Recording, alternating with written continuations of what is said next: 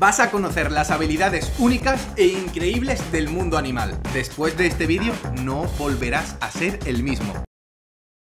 ¡Me están matando! ¿Conocías alguna de estas habilidades? A mí la 8 me ha dejado sin palabras. El ajolote, acholote, agolote, como lo llames, el animal con la sonrisa más encantadora del mundo mundial. Yo creo que lo que tiene, la verdad, para ser el primero no es una habilidad, es un fucking superpoder. Y es que tiene la p sí de grande. No, en serio, tiene la capacidad de regenerar extremidades y órganos. Está guapísimo. Yo creo que está top 1 Forever and Never. Hostia, pero esta también tengo que admitir que está guapísima. El pulpo mímico. Imita la apariencia y movimiento de otros animales marinos. Es decir, es mejor que un mimo. Claro, a lo mejor por eso se llama pulpo mímico. Que de esa forma puede sobrevivir, atacar o más bien vivir como le plazca. La buena vida. Aquí sale el competidor hacendado del pulpo, que no está mal, pero el camaleón, aunque también es una máquina de camuflaje, solo hace eso, camuflarse. Es invisible, indetectable, pero ya. Oye, no recordaba que hubiera un animal que empezaba con la palabra dragón. Dragón de Komodo. Con ese nombre, seguro que escupe fuego o, algún poder especial tiene. ¡Uy! Casi. Su saliva contiene bacterias tóxicas que incapacitan a sus presas. Un escupitajo y te paralizo.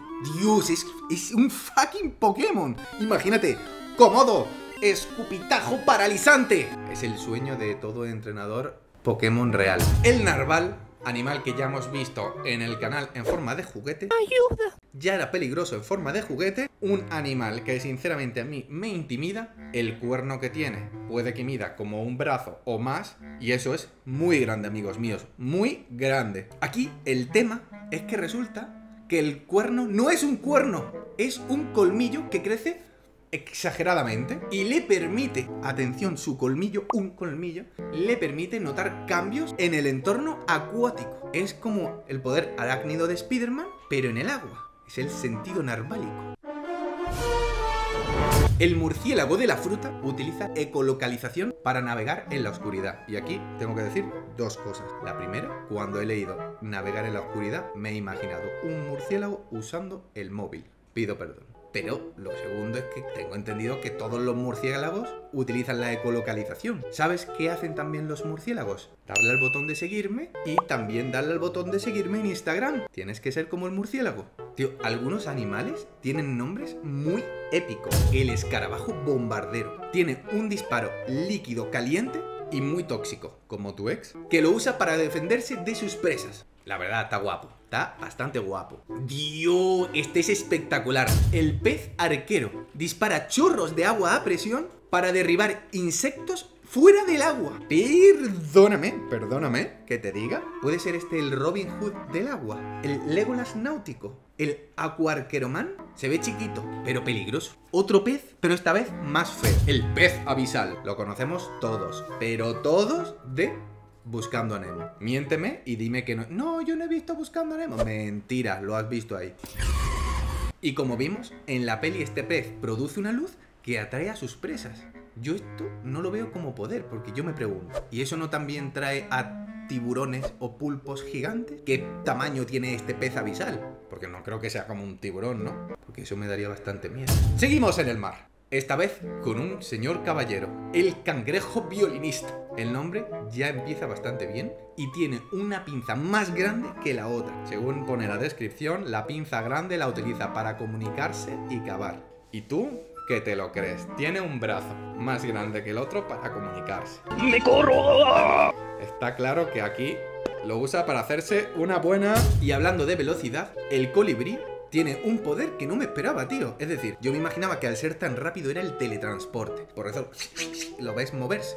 Pero no, apunta, apunta aquí que este dato está bastante guapardo. Es que puede volar hacia atrás. Por eso hace...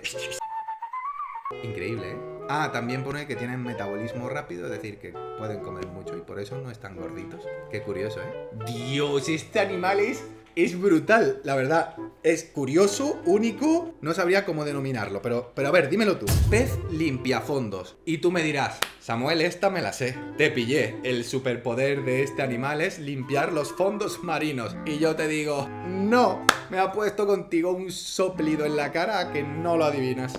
Porque el superpoder que tiene este pez es cambiar su sexo según las necesidades del grupo. Es decir, si todos en el grupo son machos o todos hembras, de repente algunos dicen, ¡Pup!